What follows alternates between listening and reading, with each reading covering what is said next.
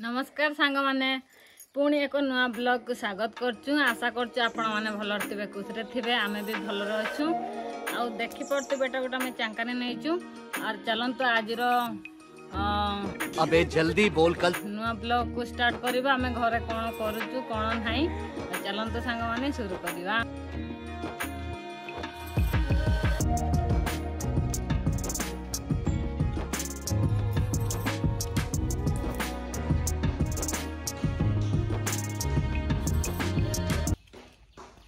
তুমি দেখিপারুবে আমি আম জায়গায় পৌঁছিগনু এটা দেখিপারুবে এটা হচ্ছে বড় চাকুণ্ডা গছ এটা বি আমি খাও ছোট লাবেলে এবে বড় হয়ে গলা বুড়া হয়ে গলা আপটে দেখুন এটা হচ্ছে মাটি শাগ বর্তমান আমি মাটি শাগ নবা এটা মাটিরে হুয়ে বলিকি এটা আমি মাটি শাগ কৌ লোক মানে কোণ কহতে আমি জানিনু কিন্তু আমার আদিবাসী লোক বেশি খাঁতি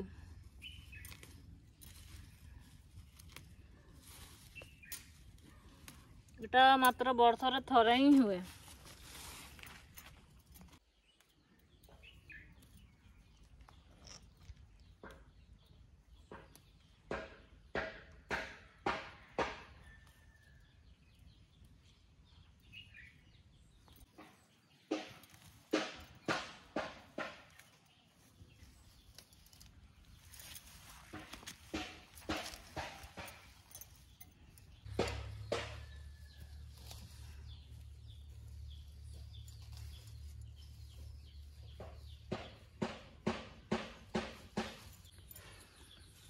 ଦେଖନ୍ତୁ ସାଙ୍ଗମାନେ କେତେ ସୁନ୍ଦର ଦେଖାଯାଉଛି। ବାସନା ଆଣି ପେଟ ପୁରି ଯାଉଛି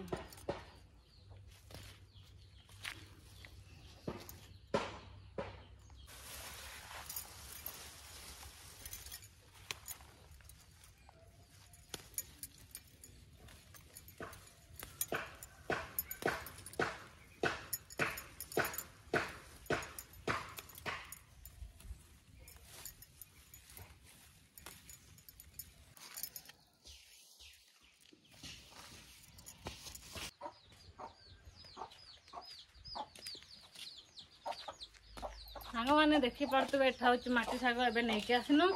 ବର୍ତ୍ତମାନ ଏଟାକୁ ଟିକେ କ୍ଲିନ୍ କରିବା ଘାସ ଫାସ ଥିବ।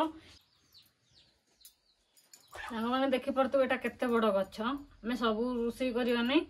ତ ତାର ପତ୍ର ଗୁଡ଼ା ଆମେ ଭଲସେ ନେଇଯିବା ତୋଳିକି।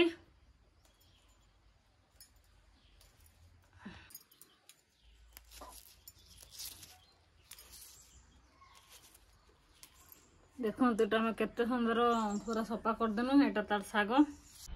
ମଜା ଆୟା।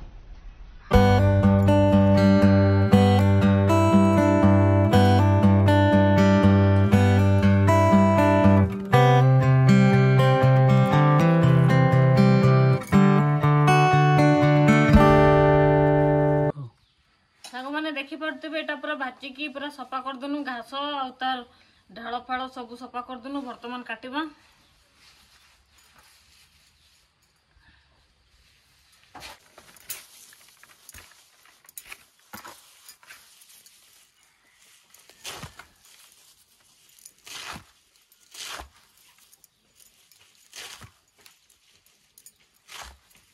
ସାଙ୍ଗମାନେ ଦେଖିପାରୁଥିବେ ଏଇଟା ହେଲା ହେଉଛି ଶୁଖୁଆ। ଆଉ ବର୍ତ୍ତମାନ ଆକୁ ଟିକେ ଛୋଟିଆ ଛୋଟିଆ କାଟିଦେବା। ବଡ଼ ବଡ଼ ରଖିଲେ ଭଲ ଲାଗିବ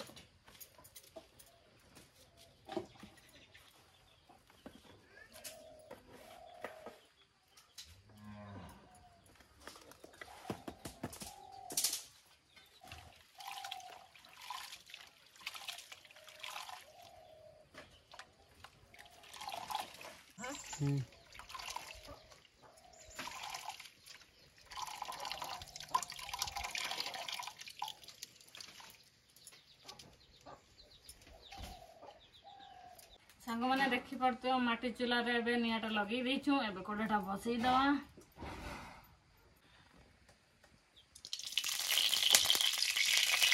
Come.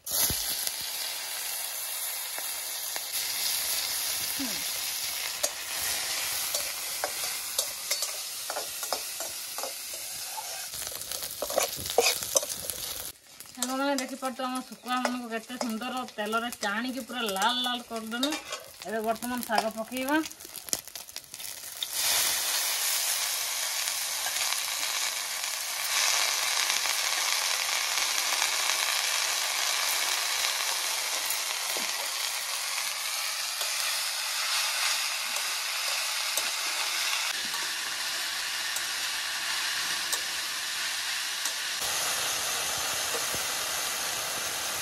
ସାଙ୍ଗମାନେ ଦେଖିପାରୁଛନ୍ତି ଆମ ଶାଗଟା କେମିତି ପୁରା ଗୁଣ୍ଡ ହେଇଗଲା। କିଛି ବି ନାହିଁ ନା ନାଇଁ କାଟୁଥିଲେ ବି ହେଇଥାନ୍ତା।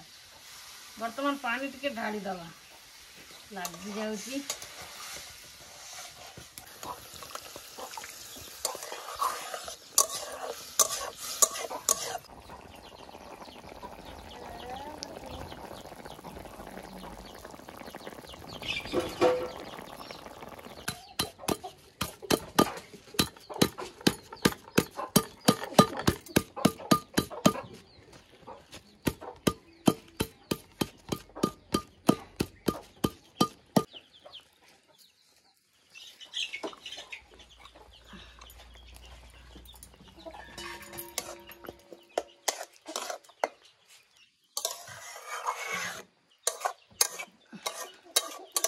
ମାଇକ ଗଲେ ବି ନେଇଯା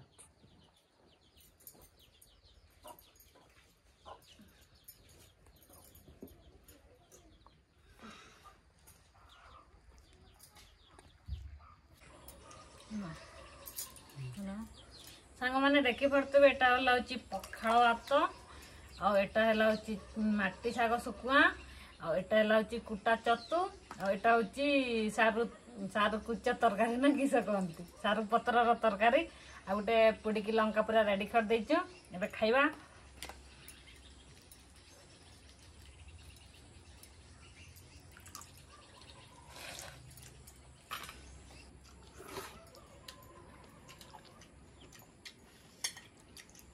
କେମିତି ଲାଗୁଛି ପାଣୁଜି ମାଟି ଶାଗଟା ବହୁତ ବଢିଆ ମତେ ତ କୁଚିଆ ମାଂସ ଭଳିଆ ଲାଗୁଛି ତ କଣ ମତେ ମାଂସ ମତେ ଲାଗୁଛି ଶୁଖିଲା ମାଂସ ହୁଁ ତ କିସଟାରେ ଶୁଖୁଆ ଭଳିଆ ଲାଗୁନି ଡାଇରେକ୍ଟ ମାଂସ ଭଳିଆ ଲାଗୁଛି